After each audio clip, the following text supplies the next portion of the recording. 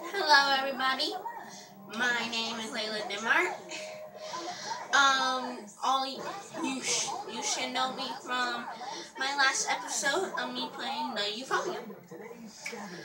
And today, I am going. I have been told that I've been. I'm really good at playing with a yo-yo. This yo-yo came from Dave Buster's, and now I'm going to show you how to yo-yo for people who don't know how. Once you watch the video, watch it over and over until you get all the steps memorized and organized. So here I go. An meeting. She'll show you how to prepare for emergencies. Listen up now, so we can hear Doc's plan. That's right, Hallie. While sometimes emergencies can happen, there's no need to be scared when you're prepared.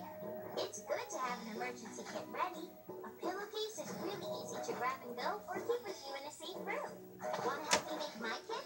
Here's what I need. Flashlight, Okay. clothes, toothbrush, water bottles, blanket, snacks. Okay. I don't want to be alone during an emergency. My second time doing it. Family communication. We should have phone numbers and email addresses for all our family members and the local authorities. And be sure to stick with a buddy. The best way to be safe is to learn, practice, share, and be prepared. Be inspired to be prepared with Doc McStuffins and the American Red Cross. Well, America, was a princess. Dare to dream. well, like I'm saying, guys, When you dream, yo-yoing is a really good thing to do. and when you truly Um, yo-yoing really can come true. before yo-yos look like hourglass, hourglasses. So follow your Well- dreams. You never know where they might take you. See I just have to say in Cinderella, coming that soon to Blu-ray, digital, and Disney movies. This, Rated the PG. yo-yoing, then, um,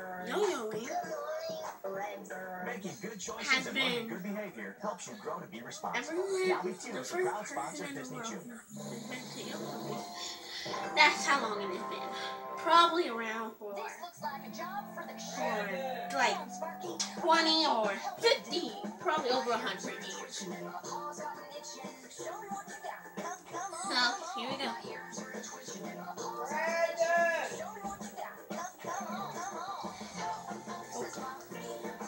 Hold on, guys. I will be right back. I gotta go do something real quick.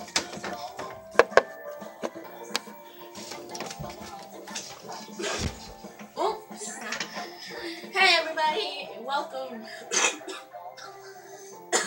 hey, guys. I'm back. Um, sorry, had to go handle something real quick. But now, I'm about to yo-yo for you again and you tell me what you think. You think yo-yoing? I gotta say, there are many people who think yo-yoing is hard, and only people professional can yo-yo. But there are many other people that can go out, that you can go out there, buy a yo-yo, and just start and practice. Like my dad said, he said, practice makes perfect. And you have to try and try and try until Until you finally get it right. So here we go.